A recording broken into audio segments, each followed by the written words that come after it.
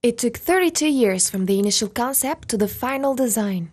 The Ariane 5 rocket will launch in the James Webb Telescope from Guyana on December 25th, 1.5 million kilometers from Earth. The telescope will travel for a month long journey to reach its far orbit. The world's most powerful space telescope is expected to return with new information that will help scientists in their understanding of the universe's origins and Earth like planets beyond our solar system.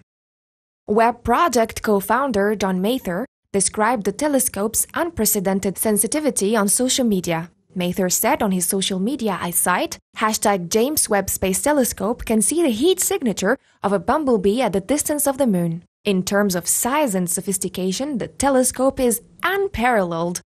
Its mirror has a diameter of 6.5 meters, three times that of Hubble's, and is made up of 18 hexagonal pieces. Arianespace, the rocket manufacturer, designed a custom made decompression system to protect the delicate equipment from pressure changes at that stage. The intricate process will take two weeks and must be faultless in order for Webb to work properly. Its orbit will be much farther than Hubble, which has been 600 kilometers above the Earth since 1990. Webb is scheduled to be in service starting from this June.